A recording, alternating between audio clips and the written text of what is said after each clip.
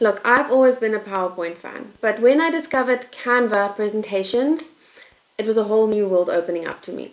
And I want to take you through a very simple Canva presentation today, just to get you started, or you have a presentation due and you are on YouTube right now because you are looking for a quick, easy fix to meet your deadline.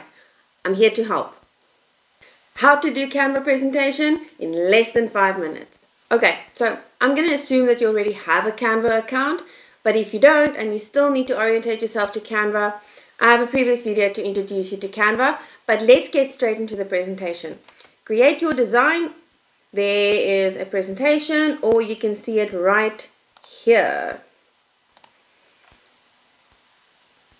So the beauty of Canva is that the dimensions are pre-populated in the back end. It will already get the right dimensions for you. So you're basically ready to go. And then they're being a little bit nicer and they give you a whole bunch of templates to choose from.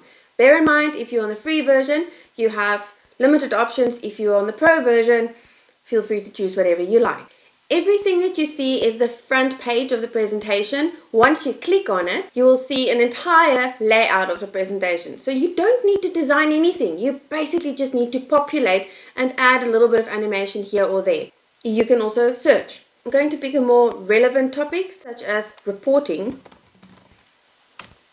Right, let's see where we can start. If you hover over the slide, you will see that it shows you the extra slides without having to click on the template. So generally, nice front page. I would probably have some kind of information.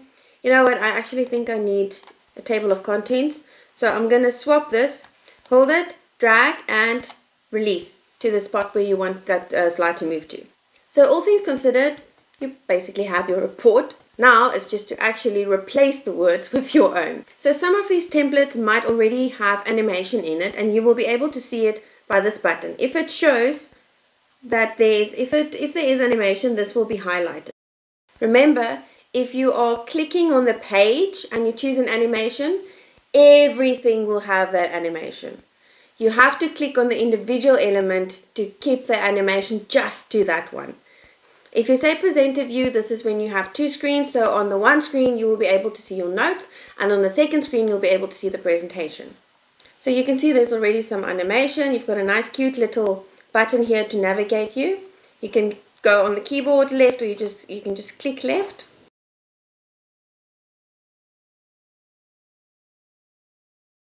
Side note, just as with PowerPoint, you have the option right here at the bottom if you see it notes here to add notes to every single page. Perhaps I don't like the colors because it's not my brand colors. That's very easy to change, especially in Canva Pro where you have the ability to change the color of the majority of the elements that you will use. So I can go here and you can go and change whatever you have. You can see I have the option to add brand colors. This is when you have Canva Pro. I don't know if you've noticed, but up to this point, I have not touched the sidebar, but I basically already have a presentation that I just need to populate. Look, by no means am I an expert in ChatGPT at all, but this is just the way that I work it into my daily tasks to make my life a little bit easier. As much as I love ChatGPT, I would never just copy and paste. I would always add my own touch to it. Also, because it doesn't exactly feel professional to just copy and paste. Okay, maybe I hate the picture. I want sales report. Oh, that looks nice. I like that more. And then maybe our last thing that we want to change is that the fact that we don't like these icons. Remember, whatever you're looking for, just type it in the search bar. It doesn't even matter if it sounds ridiculous. Just type it in. Something that I always keep in mind, there are thousands of options here for graphics, but if you start with a certain kind of design, just stick to it. It doesn't make sense if you have a 2D picture somewhere and then the next slide or the next picture you suddenly you suddenly now have a 3D design. It doesn't go together.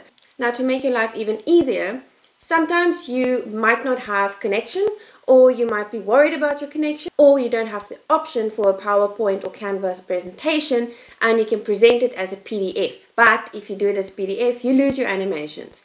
But you can still make it interesting. I'm going to show you how you can do it if you want to do it as a presentation in PDF. Say for instance, this slide that we are on at the moment, you don't want all three of these elements to show at once. You want to run them through one by one. So what I do, I duplicate the slide three times. The last slide, I obviously want all of the content on. So I'm going to leave the last slide as it is. The second to last slide, I'm just going to delete the bottom bit. The first slide, I'm going to delete everything else. So now you can see if I go from that slide, I go to the slide, as I'm carrying on, it looks like I'm still on the same slide as in a PowerPoint and I keep adding text, but I'm actually not. And then the last thing, look at this nifty little feature on Canva Pro for animations. You can create an animation. So I want to do it here and put it back there.